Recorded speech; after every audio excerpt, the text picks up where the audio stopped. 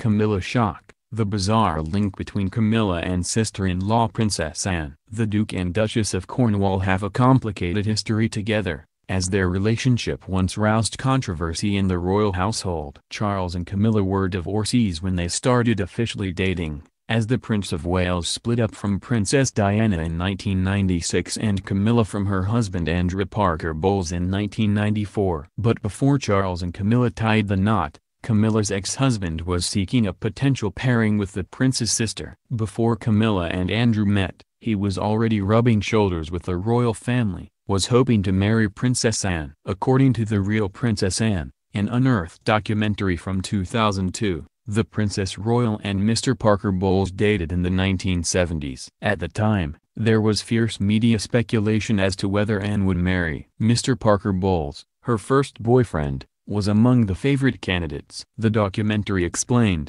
most of the press pack were far more fascinated with the company she kept and whether they could marry her off. Would it be the Olympic gold medalist Richard Meade, who shared her passion for writing, or more intriguingly, the 26-year-old Andrew Parker Bowles, not yet married to Camilla? While Princess Anne and Andrew were compatible, one insurmountable difference meant they could not marry. The documentary added, he and Anne were often seen together, but he was a Roman Catholic, and for a royal that effectively put marriage out of the question. As a Roman Catholic, Andrew could not marry Anne, whose mother Queen Elizabeth II was the head of the Church of England. The two parted ways, leaving Andrew to marry Camilla Spade, and Anne to marry Mark Phillips. Camilla eventually married Prince Charles, after his relationship with Princess Diana and hers with Andrew ended in divorce. According to royal biographer Sally Bedell Smith, Charles and Camilla feared the reaction from people on their first royal tour to the U.S. due to Diana's memory.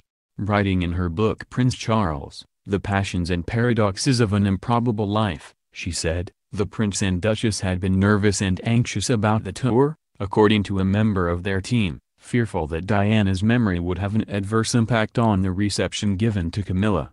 None of us knew for sure what the reaction would be, said the official. For both of them, Diana was a long shadow but on the trip, it didn't ought to be long at all. Especially in California, it was Princess Diana. Who cares? Princess Anne's most recent royal appearance was in Chester, where she visited to inspect the ship's company of HMS Albion. The princess is the ship's sponsor, and the company is instilled with the freedom of the city of Chester. Mark Williams, Lord Mayor of Chester, said, HMS Albion was granted the freedom of the city of Chester in 2003 and has always enjoyed strong links with our city.